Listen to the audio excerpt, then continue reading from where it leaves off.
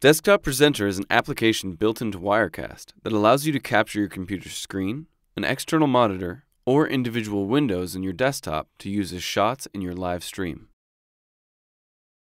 To set up a local desktop presenter shot to capture a specific window, open the Sources menu and click Show Sources Settings.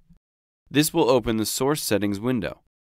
Click the plus button in the bottom left of the window and choose Add Local Desktop Presenter.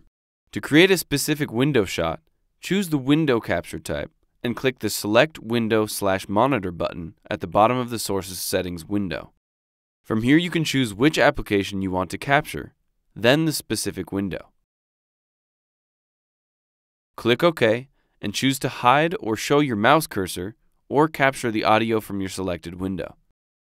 Once you have made your customizations, right-click your new local desktop presenter shot to rename it and then close the Sources Settings window. To add the new shot, choose a layer and hover over the plus icon. Click the monitor icon and add your new local desktop presenter window shot.